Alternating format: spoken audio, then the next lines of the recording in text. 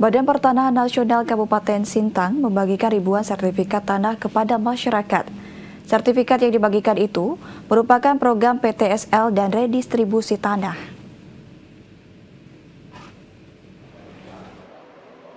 BPN Kabupaten Sintang menyerahkan sertifikat tanah masyarakat dalam program PTSL dan redistribusi tanah.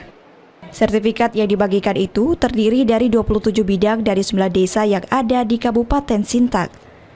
Kepala BPN Sintang, Catur Widayanti mengatakan, sertifikat masyarakat yang dibagikan itu 8 desa program PTSL dan satu desa program redistribusi tanah.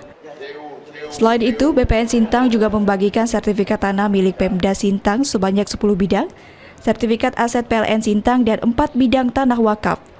BPN Sintang juga sudah menyelesaikan seluruh target program PTSL yang diberikan, sedangkan untuk program redistribusi tanah sedang dalam proses penyelesaian.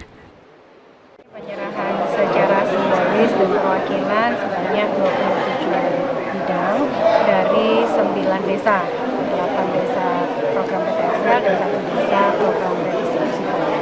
Uh, untuk PTSL sudah selesai, untuk yang redis berproses total target 9.156 sudah tercapai semua untuk distribusi tanah 2.500 selesai yang sisanya masih berproses Catur menambahkan program PTSL dan redistribusi tanah masih akan dilanjutkan pada tahun 2024 mendatang. Masyarakat diminta memasang patok batas sehingga memudahkan petugas BPN melakukan pengukuran dan pendaftaran tanah nantinya.